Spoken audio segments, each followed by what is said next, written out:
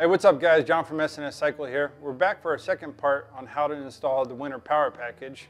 We still have the Dyna on the lift and we've completed the install of the 4-inch cylinder kit. We're moving on to the cam chest kit, which will be featuring the S&S cam plate, oil pump, 585 cams, push rods, and chain tensioners. We're going to go ahead and break down the motorcycle right now per the factory manual.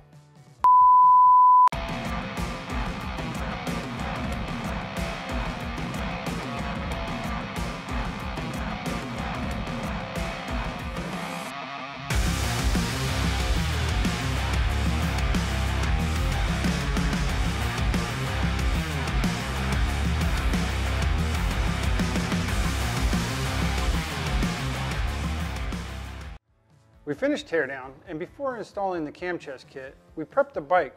We went ahead and replaced the inner cam chest bearings. They were going bad, and the ones that were supplied within the S&S kit, we replaced them per the factory manual. Now we're ready to move on to our oil pump. Let's get started. When installing the oil pump, it comes from the factory like so, with a zip tie on it, holding everything into place.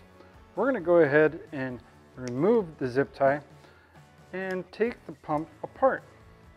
When putting it into the motorcycle, we want to make sure we do it a piece at a time. So you want to make sure that you lay all the pieces the way they come out, keeping them in order.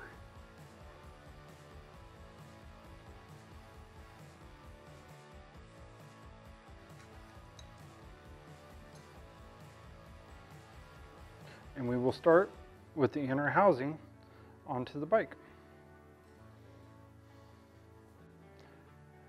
The first step in the process of installing the new oil pump is the O-ring. We're going to add some lubricant to the O-ring. The O-ring is supplied within the kit, some assembly lube to the O-ring and place it within the case, making sure it seats all the way. You do not want to put the O-ring on the housing and then place the housing onto the motorcycle. This may bind the O-ring or not seat the O-ring at all. Once you've done that, you're going to take your, your inner housing, apply some assembly lube to where the O-ring will sit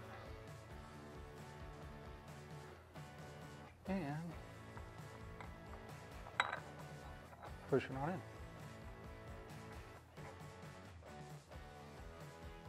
Now that we have the housing secured, we're going to go ahead and install G-rotor number one. We're going to apply some assembly lube throughout the rotor itself and on the outside of it.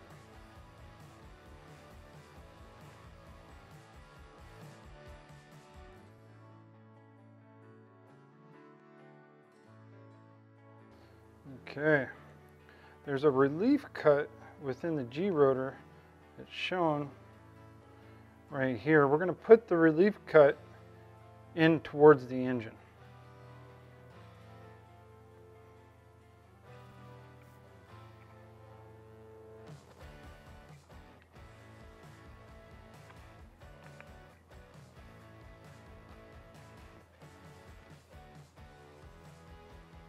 Before we put our divider plate on, we're going to go ahead and put the dowel pins back into the inner housing.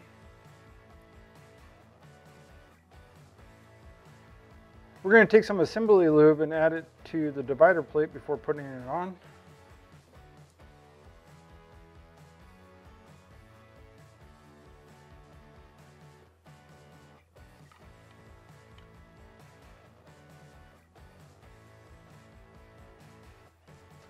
For our second G-rotor, we're going to go ahead and add a assembly lube to it all the way around.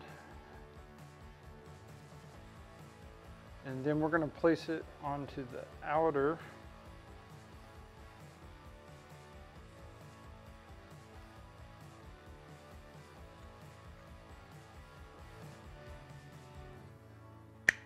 like so. And then we'll place this within, matching up the dowel pins may need to finesse to get the flat spots.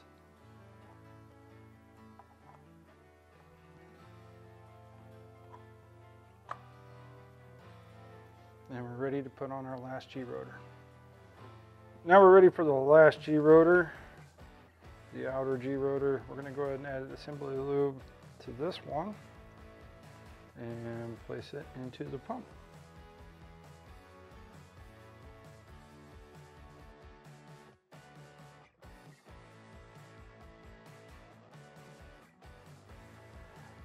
After installing the oil pump, you want to go ahead and take a straight edge, line it up to the face of the oil pump and the face of the cam chest area, the gasket surface, and making sure the face of the oil pump doesn't protrude.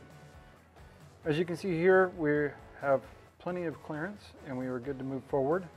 Now if the oil pump does protrude past the gasket area, you want to check the scavenging hole back here where you place the O-ring in and making sure that it's seated all the way.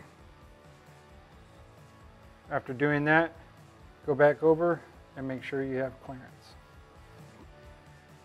Now we're ready to move on to the cams. The first step that we're going to do with the cams is going to install them to the cam plate. The secondary chain, we're going to go ahead and take our cams and put the secondary chain on the cams now and lay the cam plate on the cams. One thing you want to do and to make sure you line up the dots that are faced on the cams themselves, making sure they are facing each other as you can see right here. This is the timing marks. They need to be facing each other to make sure it's timed correctly. Now that we have the secondary chain on, we're going to go ahead and take our cam plate and apply some assembly lube in the housing here. And slip on the cam plate, making sure we keep the timing marks in the same spot. Once you have done that, you're going to go ahead and flip her over. And we're going to go ahead and add the chain tensioner. We're now ready to install the secondary chain tensioner on the back of the cam plate. It's going to go located right here and you're going to compress it down and then you will install the bolts supplied within the kit the bolts that we're using for the back are an inch and one eighth, and they are a Torx bolt. Before installing them, we're going to go ahead and apply a little bit of blued Loctite on each bolt.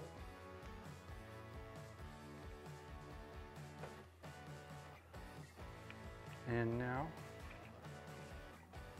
we will hand tight them in.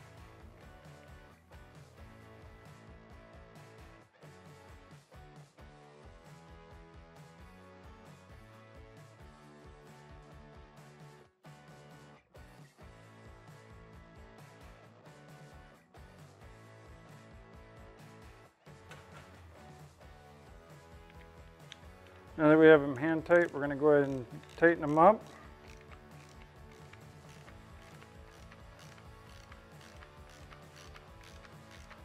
Just to a snug point, and then we will torque them down to 100 inch pounds.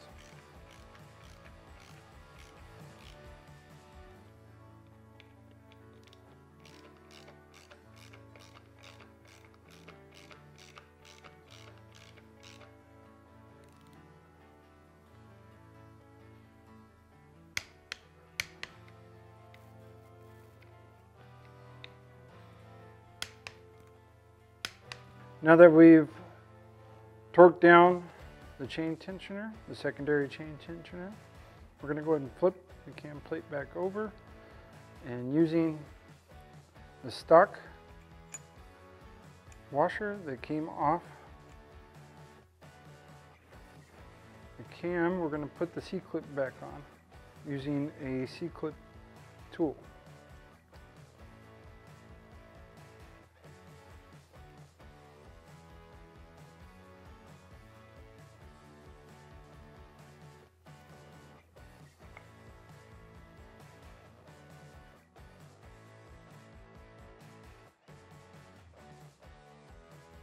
Before installing the cams and the cam plate, we want to go ahead and set up the motor with new O-rings.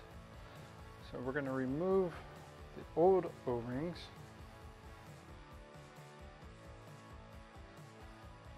And supplied in the kit are two new O-rings. We'll add some assembly lube and place them into the engine case themselves.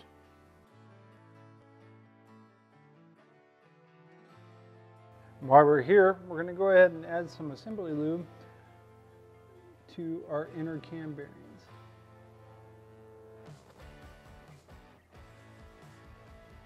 Making sure you get it all the way around.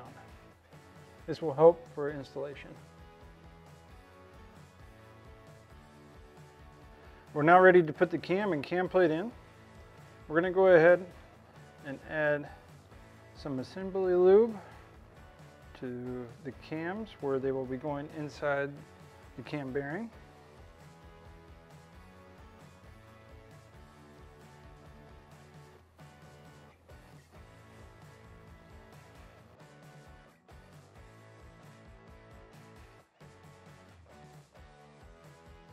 Using the factory bolts that came off, we're going to go ahead and tighten the cam plate back up, hand tight. The sequence you use is actually forged into the cam plate or you can refer to the factory manual.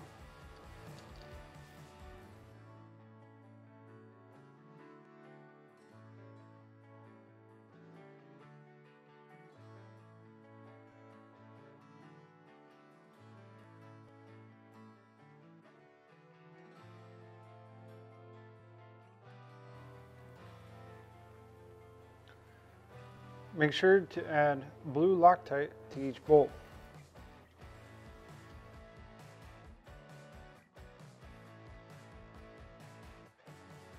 Now that we've gotten them all hand tight, we're going to go back over in the same sequence that are forged into the plate itself, torquing them down at 100 inch pounds.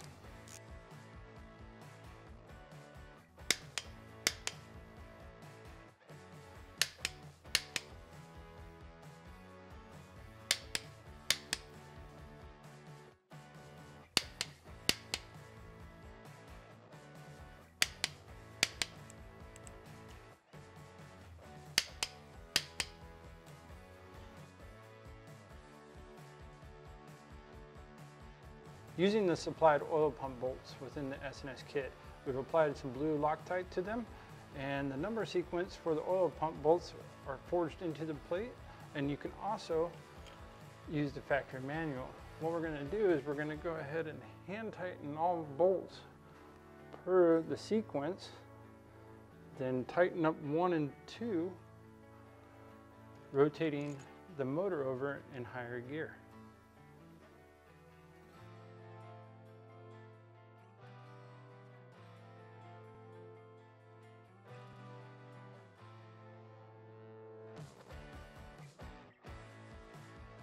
We removed the spark plugs from the motor and we've put it in high gear.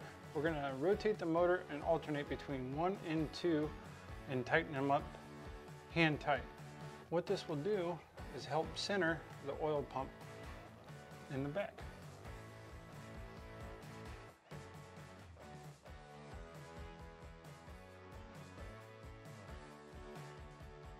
Now that we have one and two tightened, we're gonna go ahead and tighten down to a snug point, three and four.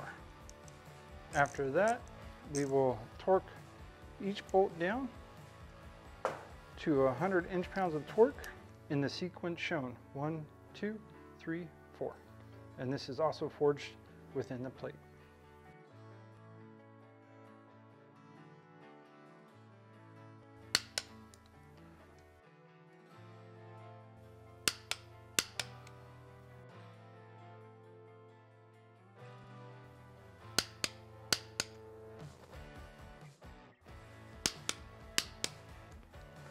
And just to double check, we're gonna go back over one more time at 100 inch foot pounds of torque, making sure everything is torqued correctly.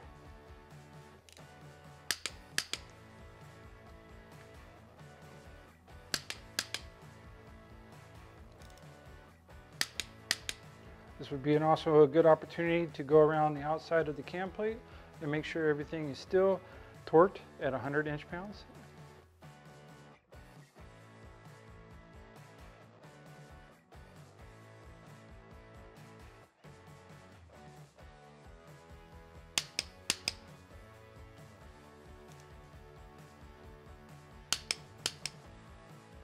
Now we're going to go ahead and check our sprocket alignment between the cam sprocket and the crankshaft sprocket.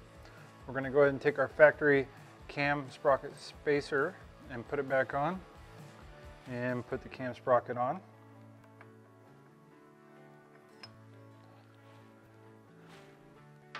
We're going to go ahead and hand tight it just to hold it in place. We will snug it up after we get the crank sprocket on.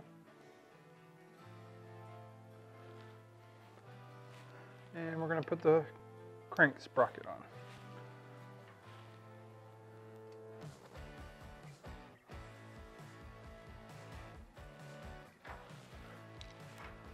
We're going to insert our teeth holder in between the sprockets and hand tighten both bolts down.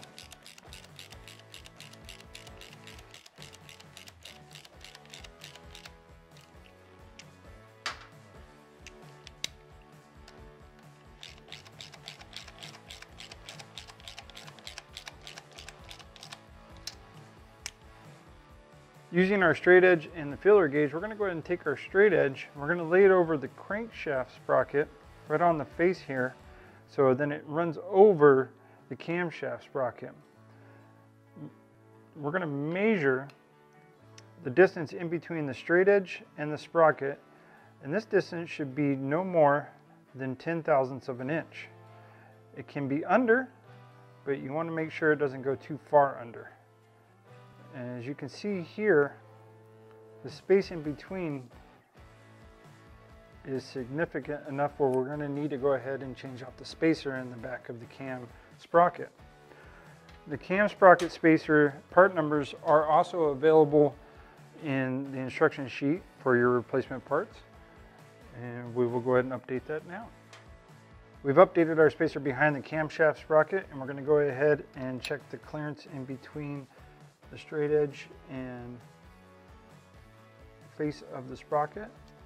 And we are now underneath 10 thousandths of an inch. We're ready to go ahead and add on the chain.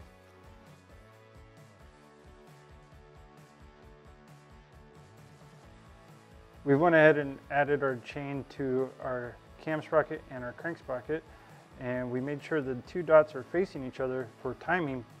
You want to make sure that your engine is timed and we're going to slide them on and they're still on and the dots are still lined up. We're going to go ahead and put our bolts back in and lock this into place. We're going to go ahead and add some red Loctite to each bolt and hand tighten them in.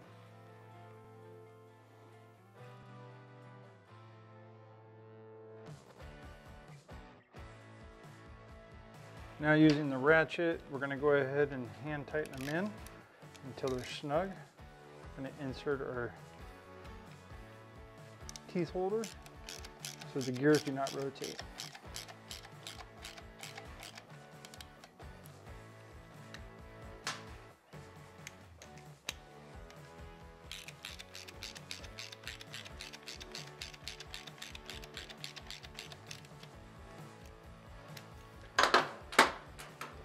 Now that they're hand tight with the ratchet, we're going to go ahead and torque down each bolt. The crankshaft sprocket bolt is going to be 25 foot-pounds of torque. And we're going to go ahead and torque down our cam sprocket bolt at 35 foot-pounds of torque.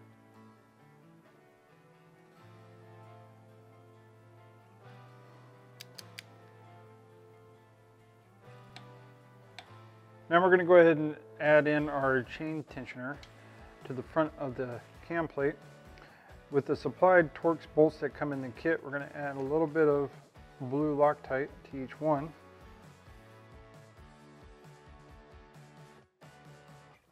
Slide in the tensioner.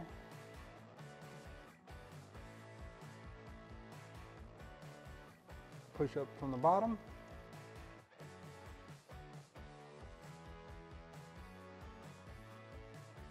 We're going to go ahead and tighten these down by hand, just snugging them up, not aggressive tight. And we're going to torque them down to 100 inch pounds of torque. Now if you are running a gear drive setup, this will have a blocker plate in this position, which would come in the kit. And we're going to go ahead and torque them down to 100 inch pounds.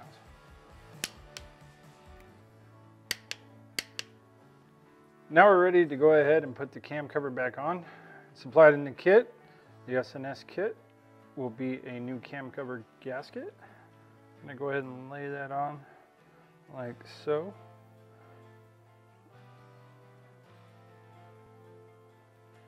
And take our cam cover, place it on. Start with number one bolt up here hand tightener in. And move to number two bolt. And hand tighten it in. Number three, number four, number five, number six, seven.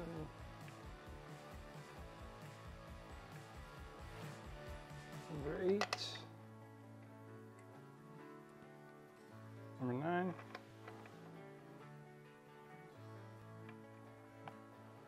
The bolt order sequence is also within the S&S instruction sheet.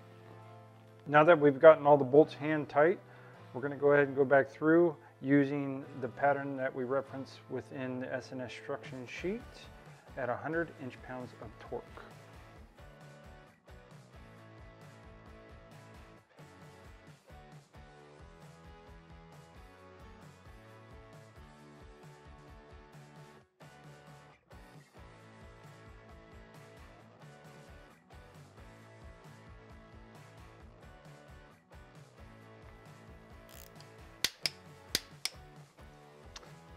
Go back through one more time and double check the torque at 100 inch pounds, uh, same bolt pattern.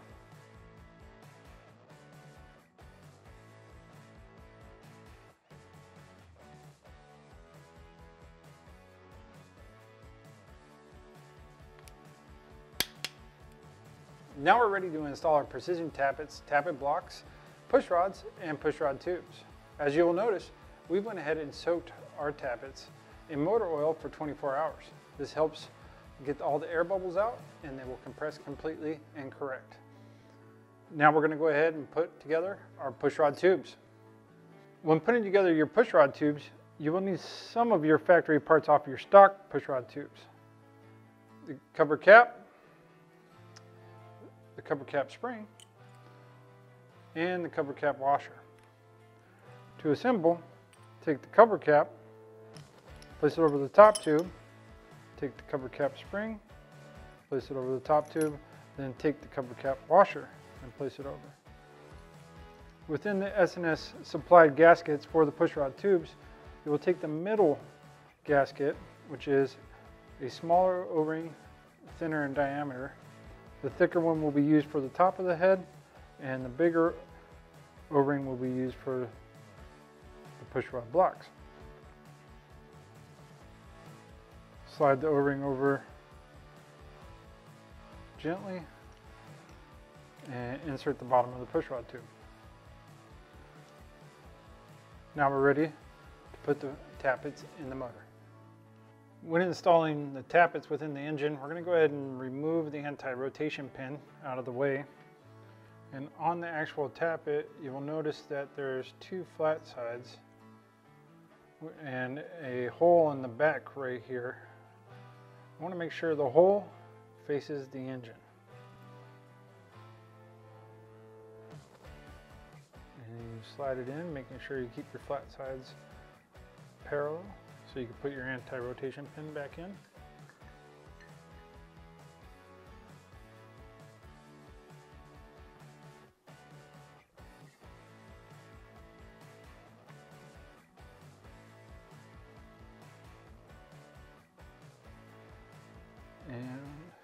Put our anti-rotation pin back in, making sure everything's aligned. Perfect. We'll repeat the process for the front.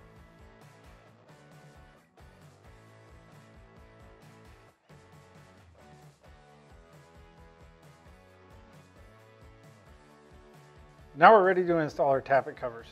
Uh, supplied in the kit is our new gaskets. One thing to note is you will see the ribs here, which you do want those to fall over the anti-rotation pin. Because on the actual block itself, you will see ribs here. This will hold in the anti-rotation pin when torquing it down.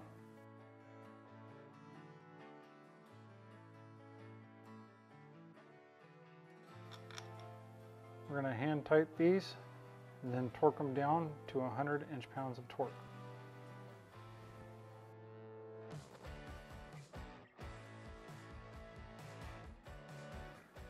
Now that we've hand tightened these, we're going to go ahead and torque these down to 100 inch-pounds of torque in a zigzag pattern.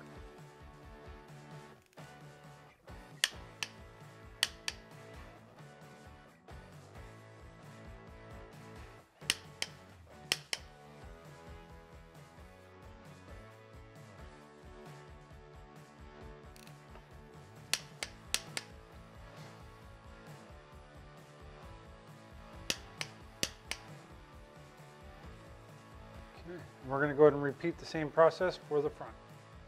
Before we install our push rods, we're going to make sure that the rear cylinder is in top dead center. To do this, it's pretty easy. We're going to take our clippings from our original push rod tubes, place them in, and while the motorcycle is in high gear, we're going to rotate the motor and when the push rods are at the lowest point, we'll know that it's in top dead center.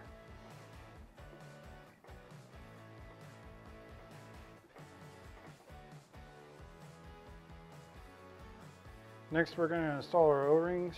We're just adding a little light coat of oil on the O-rings themselves. These O-rings are for the tappet covers. They're the biggest ones out of the kit. Place them right in just like so.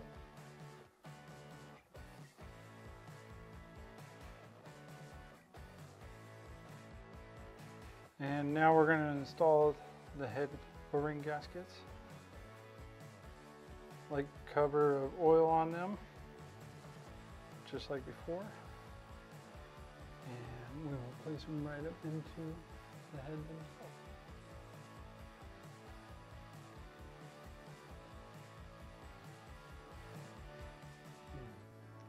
Now that we've gotten all our O-rings in the head and in the tappet block, we're going to go ahead and take our push rod and the adjuster and collapse it all the way down before putting it into push rod tube. Insert it into the push rod tube and now we're ready to install it within the engine. I want to go ahead and do the intake first and we're going to slide it up in, making sure it goes all the way up.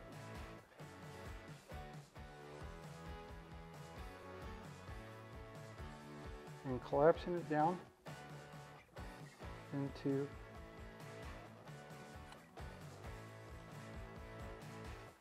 the tappet.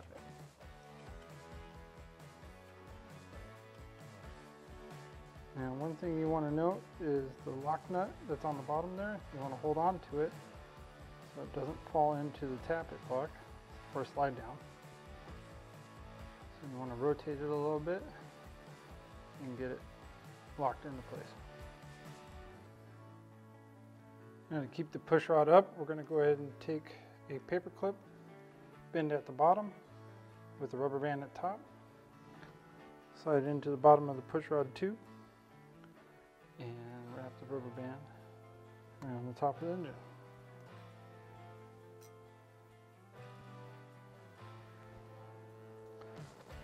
Now that we have it in a position where it's steady, we're going to go ahead and hand tighten it down before doing our full turns.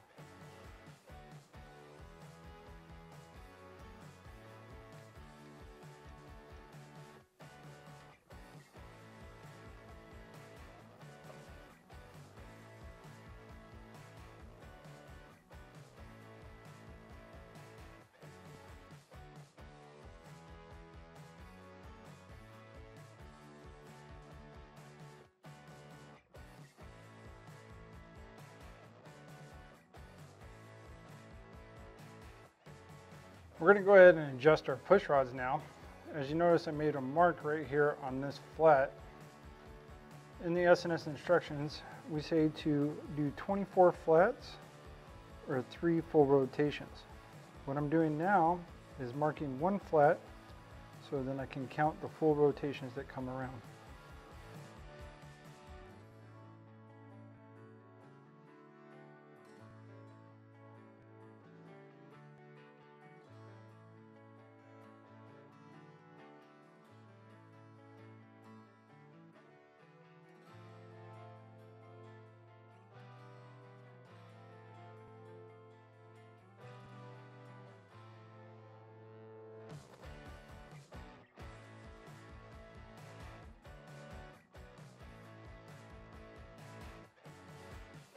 Now that we've done a full three turns or 24 flats, we're going to go ahead and go just a little bit past. Reason being, as when you tighten up the lock nut, it'll turn back just a smidge.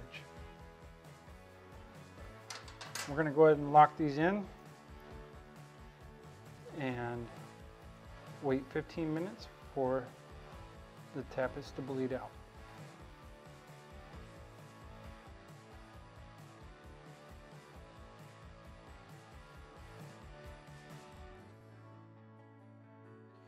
Now that we've let our tappets bleed for 15 minutes, we're going to go ahead and double check by rotating the push rods. You finger rotate the push rods, making sure that you can move them. They don't need to be too hard and they don't need to be too soft when you rotate them. If they are hard to move or hard to rotate, you need to readjust, or if they're free flowing, you need to readjust. These look to be in perfect condition and we're going to go ahead and add the top part of our pushrod tube, the keeper. To do this, we're going to release our paperclip rubber band and push the bottom of the pushrod tube into the O-ring in the tappet block, making sure it seats correctly. Taking a flathead screwdriver and your keeper, make sure your keeper cap slid down.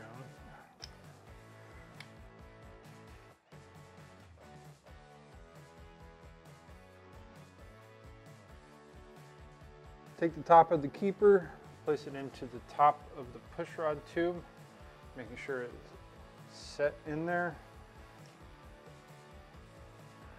And using the flathead screwdriver, slide the keeper over the cap locks it into place.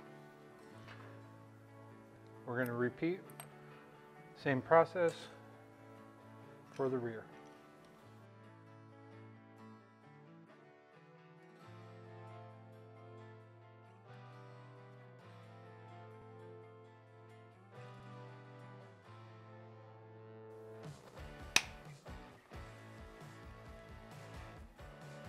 It's always good to double check, make sure top of the push rod is completely seated into the O-ring in the top of the head. Perfect. We're going to go ahead and repeat the same process for the front cylinder. After completing the installation of our push rods on the front cylinder, we went ahead and reassembled the bike. Stay tuned for our next video where we're going to feature how to do heat cycles correctly and overall performance on the dyno. If you like this video, give it a like or a comment. And for more information about S&S product, follow us on our social media channels or check sscycle.com.